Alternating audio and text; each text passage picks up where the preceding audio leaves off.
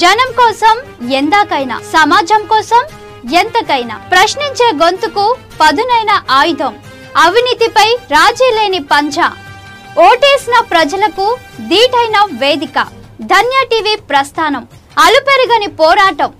క్షణం క్షణం మీ ముందుకు సమాచారం.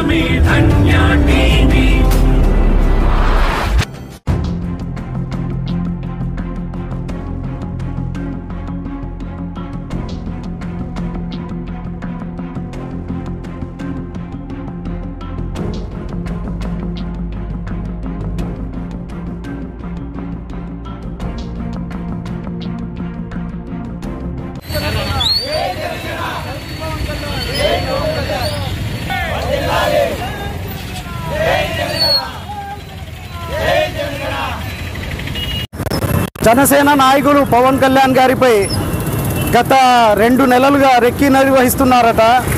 ఆ నెక్కి నిర్వహించే వారికి తక్షణమే పట్టుకొని శిక్షించాలని వాళ్ళకు సుపారిచ్చిన వారిని అరెస్ట్ చేయాలని పొద్దుటూరు జన సైనికుల తరపున జనసేన తరపున మేము డిమాండ్ చేస్తున్నాము.